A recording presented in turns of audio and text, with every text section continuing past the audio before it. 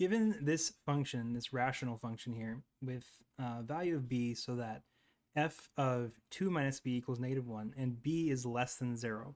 To find this, all we got to do is plug in 2 minus b into this function. Of course, f of x is just going to equal negative 1, so we get negative 1 equals 3 over 2 minus 2 minus b. That's what x is now. 2 times 2 minus b minus 4. I'm going to simplify this statement down a little bit. We get on bottom here just b. And then we get 4 minus 2b minus 4. Of course, those cancel. And now I'm going to multiply everything through by b. Uh, that's going to give me minus b equals 3 um, minus 2b squared. And this is a quadratic, so let's get it all over to one side and simplify. So doing that, we're going to get uh, 2b squared minus b minus 3 equals 0.